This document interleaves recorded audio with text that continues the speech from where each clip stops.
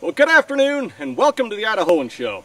If you recall in our last episode, we tested a variety of shot loads in this short-barreled shotgun, and we found that buckshot really was not effective at more than about 10 yards because there's so few pellets per load. They were spreading out so much that the pattern density was so low beyond 10 yards you couldn't hit anything. Well, the other day I realized that steel ball bearings are actually cheaper per pellet than lead buckshot.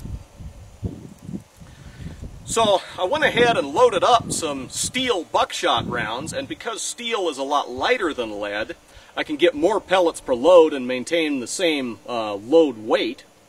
Uh, so we should get a little higher pattern density, a little more effective range. And that's what we're here to find out today is how they perform.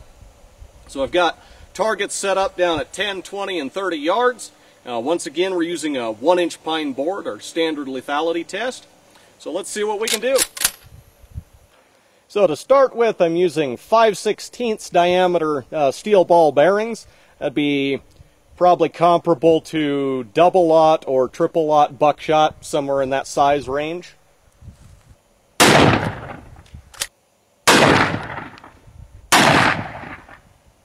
Well, with the 5 16 shot, I'm still only getting holes in the target at 10 yards.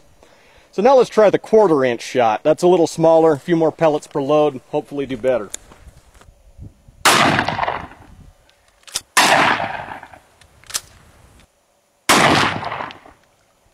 Well, with the quarter inch steel buckshot, uh, I got several holes in the target at 20 yards and one hole right on the edge of the target at 30 yards.